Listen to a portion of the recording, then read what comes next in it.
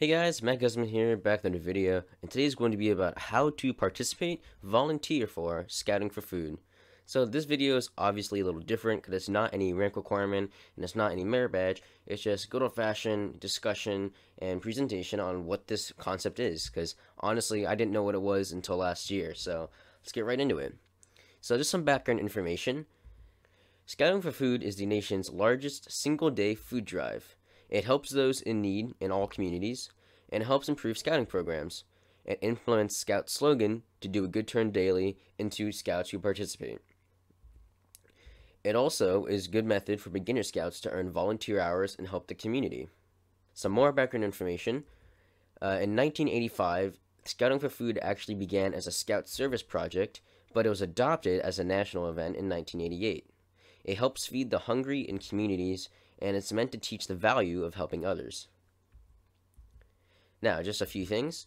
Scouting for Food is a national thing for America, and those are just like the broad concept of it. But I'm kind of going to be focusing towards my district, which is the Central Florida Council. Now, it, it's going to be similar, it's just not exactly the same, but everything, all the steps and everything are still going to be the same. It occurs on the first Saturday of November, not November the 1st, but the first Saturday. In this case, that's today, Saturday, November 2nd, but it varies on the day. And Boy Scouts leave flyers and or plastic bags around neighborhoods, although I believe 2 years ago they stopped the plastic bags, I guess maybe because of an environmental hazard or something. So now boys just have flyers. The flyers are usually red, and they look like this and they signify that it's a scouting for food flyer and it says that central florida or wherever your district is are going to be coming to that neighborhood and it informs the recipient about the pickup time and the pickup date and what they're supposed to be donating which is usually the non-perishable foods like cans. Flyers usually are provided by a scouting for food chairman and and before you do this you should probably find out what your existing council program is like I said, it still should be similar, but you should just make sure just to verify. And if you don't have a Scouting for Food chairman, all you have to do is get your Scoutmaster to ask for it by the district, who will most likely supply you with the flyers. Now, in order to get started, here's how, how programs usually work. Neighborhoods are mapped, and bags are distributed, or flyers are distributed now, to homes with instructions and details on Scouting for Food. And then, a week later, the full bags are collected and bags are delivered to a food bank. By bags, usually the person who donated provided it. And if not, you don't need to put it in a bag, just put it somewhere where it can be like picked up and dropped off somewhere. Also, how to plan in advance. First, you need to contact the food bank for verification to make sure they know you're dropping food off there. And verify the date on which you're doing scouting for food. Again, it's the first Saturday, so make sure everyone in your troop knows the date have a head count of all available scouts, and map out the neighborhoods and areas where scouts will go. And mapping it out, as you can see here, is a really big factor because if you don't know where you're going to be going, then that's kind of an issue because then you don't know where the event's going to take place. And especially when you're trying to delegate different groups to the different areas, it gets extremely hard if you don't know where you're going to go. So make sure you have uh, a mapped out area, and usually they have a count of how many units are in that area. So like in the bottom left here, you can see we have the units, uh, which is households essentially. But you have a count of how many units you have, because then that correlates with how many flyers you need. So as long as you have everything planned for, it makes everything a lot easier. A couple other things, set up a meeting place for before and after the event. If your troop just goes off into the different neighborhoods, there's there's not really much communication going around. And what happens if someone gets done early? There's going to be a lot of questions. So make sure you set up a meeting place, maybe a parking lot or something for before and after the events. And get an estimation for the amount of flyers that you have and assign groups to certain areas. Establish a pickup date, which is the week after, so the second Saturday of November, and make sure everyone knows what those dates are. And one last thing the customary start time is 9 a.m. for both weeks. Now, if you're still a little confused, the first week of the Saturday of November is when you're dropping off the flyers, and then the week after that, which is the second Saturday of November, is when you're picking up the actual food. So the custom start time for both of those events is 9 a.m. Now, a couple things to do during the event. Remind parents and scouts a day before, usually through an email or some kind of uh, contact, and then meet up around 8:45 a.m. at the meeting place to give a final instruction and recap of what all the scouts should be doing. Hang flyers on the front door or the doorknob. You don't want to knock on the door, just leave it there.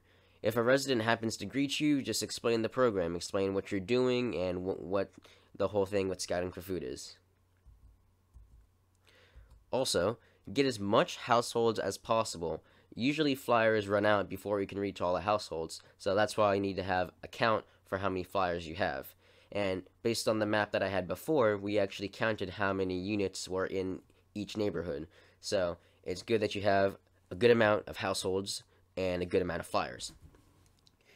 Also, distributing lasts longer than pickup because you're going to each individual door and placing the flyer either on the door handle or somewhere where they can see it.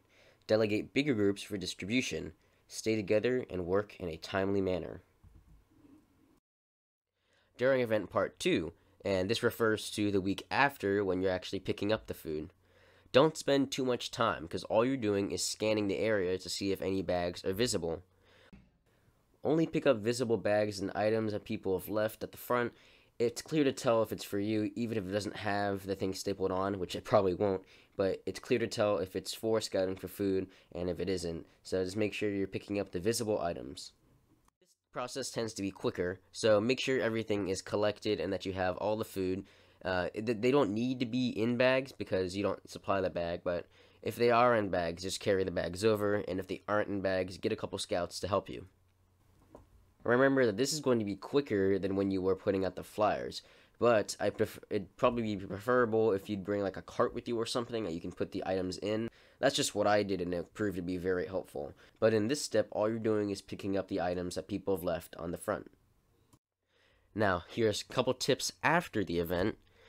Only collect visible bags, as I said before, this is a big one because a lot of people think that you have to knock on each door and ask if they have food. No, it's the point is it's a donation thing. So if there are bags there, then you take those bags. And it doesn't, like I said before, they don't have the bag system anymore. So if you see visible cans or like some kind of perishable food, then you take it. Have all groups meet up to take into account everything accomplished. Um, talk, talking about like your progress, maybe how many pounds of food you collected, how much food you collected, and make sure the troop successfully takes the food to the designated drop-off location, which is usually a food bank of some kind or maybe a, a special place in the district. Now, let's just talk about my experience. So, last year when I did scouting for food, the Central Florida Council had a goal of 500,000 pounds of food to be collected. So, if you do the math, that's about 35 items per scout. So that means 10 scouts would equal 350 pounds for your troop. However, my troop only had six scouts for the collection, and overall collected 667 pounds of food. So we had almost half the amount of scouts, but we also collected almost double the amount of food. So I thought that was really cool for my troop. Just a few more things. The distribution for each group took three hours, which meant as we were passing out flyers to all the different units in the neighborhoods, that took about three hours to do.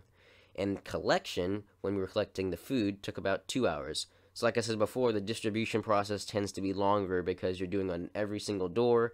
The collection, you're just scanning to see if there's visible food. And 2018, which is the one I did last year, the Central Florida Council District collected in total well over 600,000 pounds of food, which is more than the 500,000 pound goal, which I thought was really cool. Thank you for watching my video on scouting for food and how it works. If you did enjoy, please like the video, turn on notifications on my channel, and I'll see you on the next one. Bye!